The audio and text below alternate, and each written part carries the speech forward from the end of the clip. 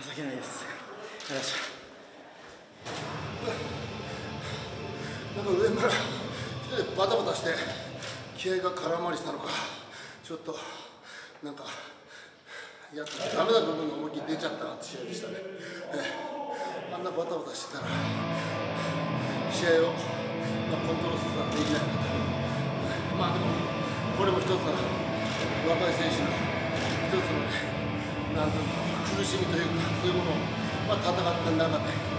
まあ、味わえたかなと。なんかすごくもったいないなって思いもあるし、まあ、これが